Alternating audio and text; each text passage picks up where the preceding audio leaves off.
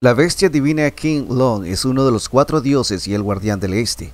En la sinosfera ha sido el símbolo de la autoridad imperial desde la antigüedad, a menudo representado elevándose entre las nubes.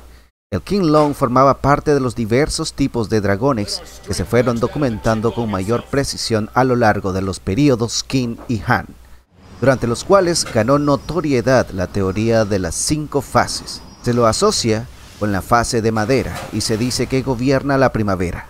También simboliza las cosechas abundantes gracias a su control sobre el invierno. También simboliza las cosechas abundantes gracias a su control sobre el viento y la lluvia, por lo que ha aparecido varias veces en los nombres de los reinados.